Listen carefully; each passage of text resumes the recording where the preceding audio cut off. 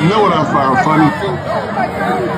It's the straight, blatant disrespect, especially on football season or any sporting event. HBCUs have for each other. And how old or young you are. But the nubs, once the season comes back and everybody's against us, when that that brings up history, if these schools can come together, Mississippi, we know what's going on. Trying to close down three HBCUs, including Jackson State and Alcorn State. We understand that. But those schools, alumni, would not let it let it go. That's one thing I do respect about HBCUs. The coming together once the ball stops playing. And then also the fact that we can rely on bringing up legends on those sporting events. Legends that no one else in states can touch. People want to say the best quarterback ever Mississippi was a Manning. Not even close. Best quarterback in the state. Well, let's just say his uh, family name runs deep in the state.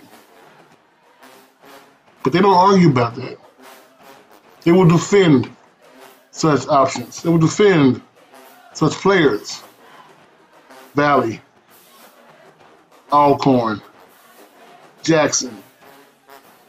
If you ever trying to start a NFL all-time great list, you can start with those three schools.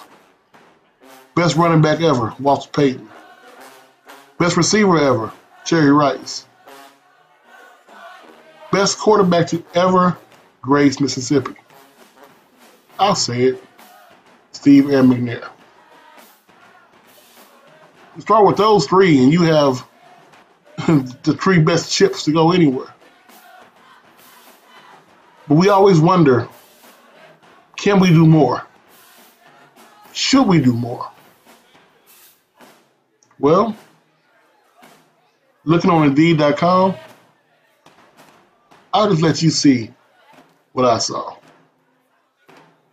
My name is Coach Simmons. And for now, I'm just a fan.